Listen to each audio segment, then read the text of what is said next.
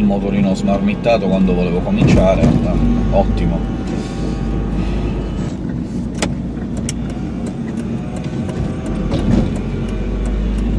Benvenuti a bordo, viaggiatori! Sono Grizzly e questo è Diario di Viaggio on the road.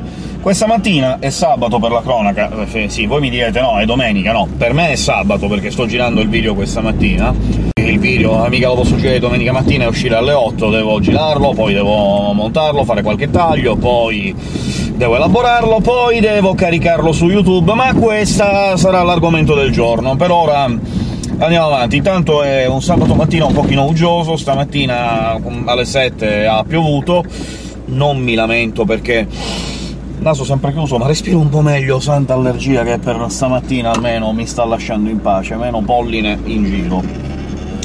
Allora, lo youtuber di oggi, lo youtuber di cui parlerò oggi, si chiama Roberto Cordero, wow, il maglione, ecco fatto, si chiama Roberto Cordero, e voi direte subito «Oh, finalmente uno youtuber italiano!» No, Roberto Cordero non è italiano, è portoricano, e parla inglese, ecco, dice «Non vi preoccupate, arriveremo anche agli youtuber italiani, ma per il momento quelli che voglio consigliarvi sono youtuber del, dell'oltreoceano. Sono youtuber dell'oltreoceano per molti motivi, soprattutto per la qualità dei contenuti. In realtà dovreste già conoscerlo, perché adesso vi metto il link alla descrizione, però se vi ricordate, se avete visto il vlog scorso, io vi ho parlato dei Veda, e uno degli youtuber grazie al quale sono venuto a conoscere bene i Veda è stato proprio Roberto Cordero, e io nello scorso vlog vi ho detto che vi avrei fatto vedere cos'era un Veda, vi ho linkato la playlist di Veda 2013 proprio di Roberto Cordero.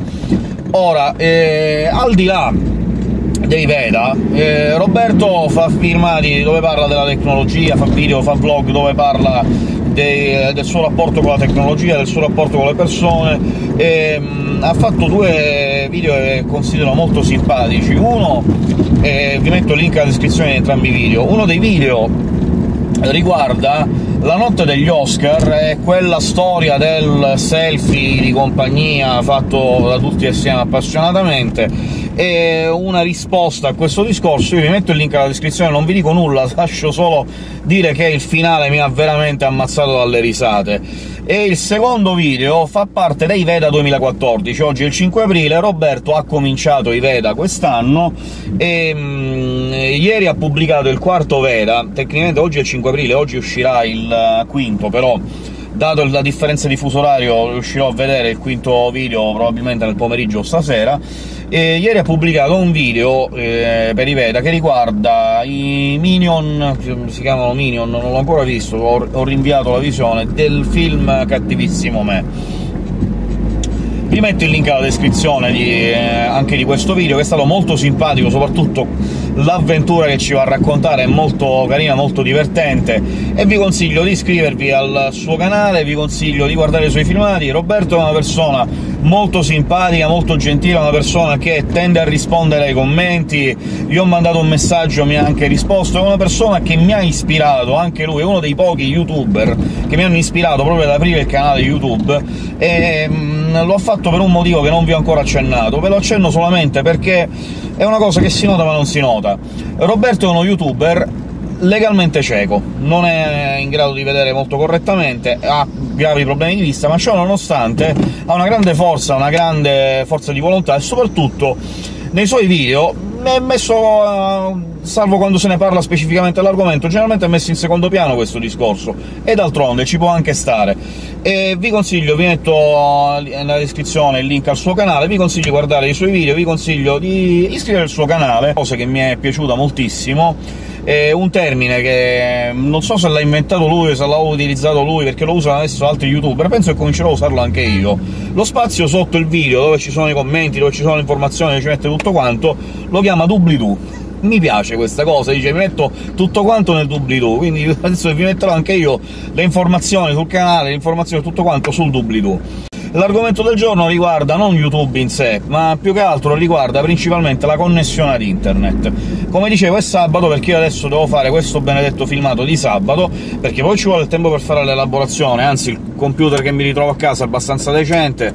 Il problema è questa bella telecamera Allegria Mini C'ha un uh, ottimo pregio, questa splendida qualità d'immagine, questa splendida qualità dell'audio, e un piccolo difetto butta fuori filmati pesantissimi. 10 minuti di filmati arrivano a pesare quasi 800 mega.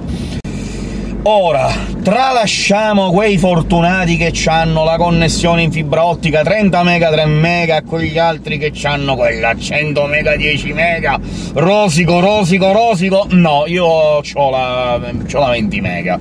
La 20 mega con un mega in upload dovrebbe essere una connessione relativamente decente, ma quando io ho sottoscritto l'abbonamento alla 20 mega costava un porcaio di soldi, parliamo tipo, oltre al canale telefonico, sui 45 euro al mese, e poi però giustamente il costo è sceso, è sceso, adesso siamo tra i, mm, credo 24-25 euro al mese, forse 23,95, 24,95 e uno dice beh dai, insomma, una 20 mega, un mega in upload, 24 euro, 25 euro, ci può stare. Il problema non è sceso solo il prezzo, il problema è scesa pure la velocità della DSL, cioè se prima, quando io ho fatto la 20 mega, avevo materialmente una condizione in cui avevo una portante da 18.000 a 919.000 e una portante in upload 980-990 e ci stava molto bene, adesso io già porto una portante di 14.500, la portante in upload di 780 la velocità complessiva che è genericamente più bassa, complimenti a questo signore che ha lasciato il camion, ci passo per un centimetro per lato. Eh, stavo dicendo, la velocità è relativamente genericamente abbassata, quindi non è che sia proprio questo granché, però eh, sopportiamo, purtroppo quello c'è.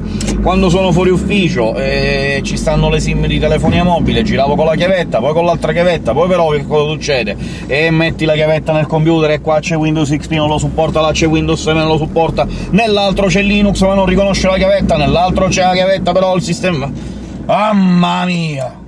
Mi sono comprato una web pocket piccolina, simpatica, c'è la SIM, l'accendi, wifi, si collega da qualsiasi cosa, il tablet, l'altro telefonino, il computer, il portatile, il network e via discorrendo. Ma...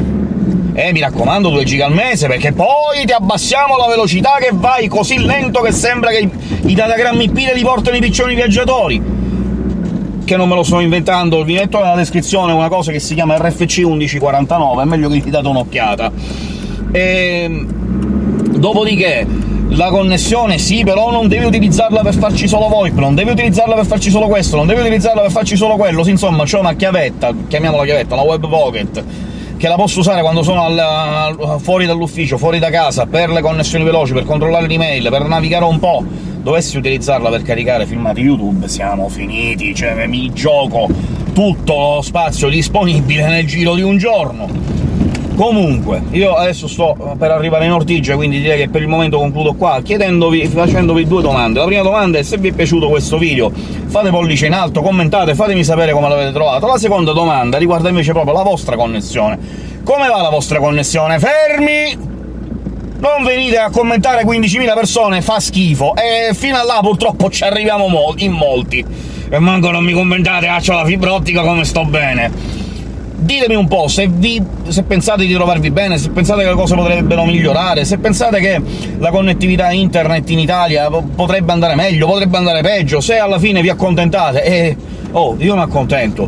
Alla fine questa 20 mega si comporta decentemente, in ufficio va 7 mega, obiettivamente la connessione di casa è più veloce, quindi la posso usare per queste cose. Obiettivamente io adesso, quando finisco, intorno all'ora di pranzo, che avrò finito tutta l'elaborazione e tutto quanto, metterò il filmato di 400, 500 mega, 600 mega, quello che sarà, in caricamento su YouTube, YouTube mi dirà 180, 190 minuti rimanenti, 200 minuti rimanenti, o oh, lascio cuocere, e eh, stasera, quando il filmato è pronto, lo preparo, la descrizione, il contenuto, i vari canali, il link a Roberto Cordero e via discorrendo, e domani mattina alle 8 potrete vedere, anzi, per voi che vedete questa mattina alle 8 potrete vedere questo filmato tranquillamente. Oh, sta uscendo il sole, ci sono sempre quattro nuvolette, però la situazione sta migliorando, è una giornata che sta prendendo la giusta piega.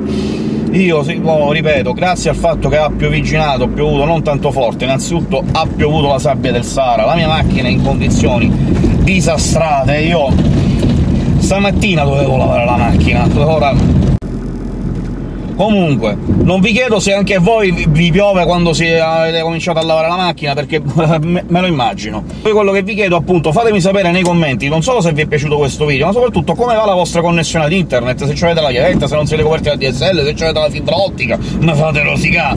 Vabbè, che ci devo fare? Qua a Siracusa stanno scavando ste trincee larghe 10 cm, vediamo se fra un po' dovevamo arrivare con la fibra ottica a novembre, poi dicembre, poi gennaio, siamo ad aprile, ancora stanno scavando e stirando ste fibre ottiche! Ci arriveremo prima o poi, più poi che prima. Nel 2013, come diceva qualcuno. E dai, fatemi sapere un po' che cosa ne pensate. E un'ultima cosa, proprio l'ultimissima, vi, vi saluto, ci vediamo domenica prossima con il prossimo filmato, e prima di concludere do l'ultimo saluto, no, non l'ultimo, l'estremo saluto, voglio offrire un mio saluto, sto per entrare nel talete, quindi siamo alla fine, eh, il mio ultimo saluto a Roberto, che stamattina mi ha risposto al messaggio che gli ho mandato ieri, eh, citandogli questa situazione. Hi Roberto, thank you for uh, replying me. I hope you're doing well too.